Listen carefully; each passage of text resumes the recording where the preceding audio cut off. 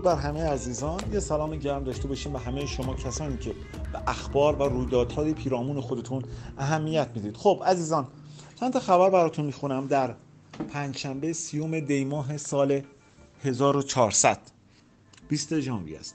خبر اول یه عضو کمیسیون تلفیق مجلس اعلام کرده که ایران امکان خرید سربازی رو به قیمت حدوداً 15 هزار یورو برای کسانی که خارج از ایران هستند ایرانی و ایرانی تبارن و می‌خوان وارد و خارج ایران بشن فراهم کرده. البته فکر کنم دوستان یه شمردن بلد نیستن نمی‌دونن که 15 هزار یورو چقدر میشه.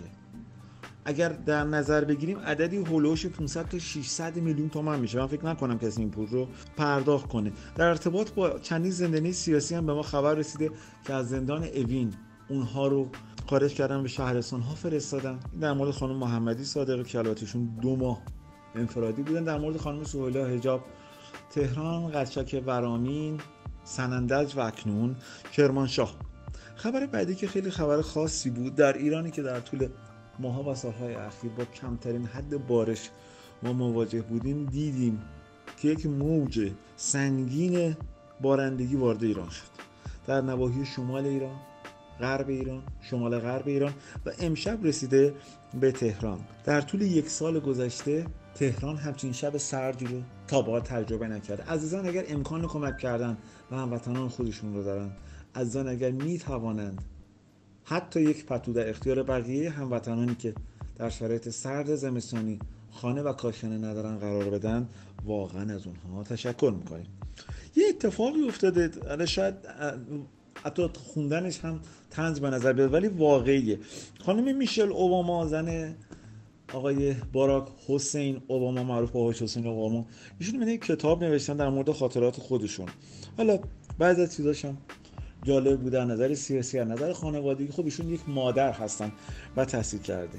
از این طرف پنجشنبه سی دی خانم جمیله علم الهدا همسر همین رئیس جمهور ابراهیم رئیسی هست همین که کلمات فارسی رو اشتباه میگه. ایشون دختر آقای آیت الله علم الخدا هستن که قدرتمند استان خراسان و شهر مشهد هستن. ایشون گفتن که به ایشون هم پیشنهاد شده کتابشون رو بنویسن.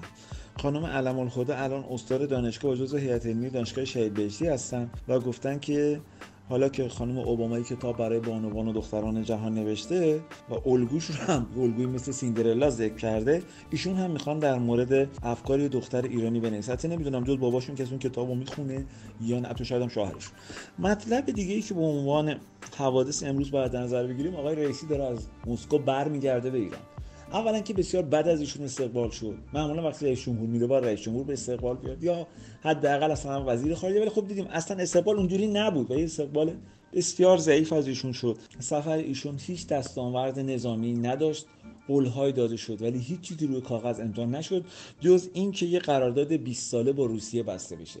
در طول سه روز گذشته قرارداد با چین. این قرارداد ننگین ترکمان چین. ما دیدیم.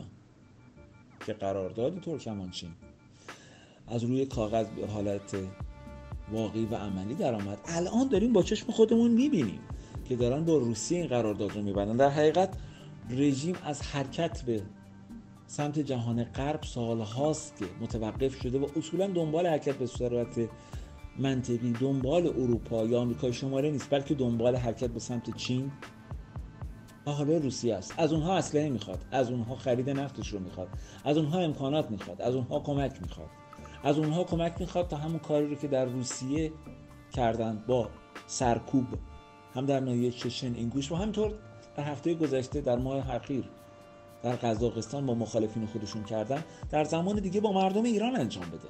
همونطور که دیدیم از نیروی هوایی ولادیمیر پوتین استفاده کرد و چقدر در کشور سوریه بشار اسد به کمک همین پاسدارهای رژیم. آدم کش. پس در حقیقت جمهوری اسلامی داره یه گردش به سمت شرق می‌کنه. کشوری که بالای وزارت خارجهش نوشته نه شرقی نه غربی جمهوری آخوندی.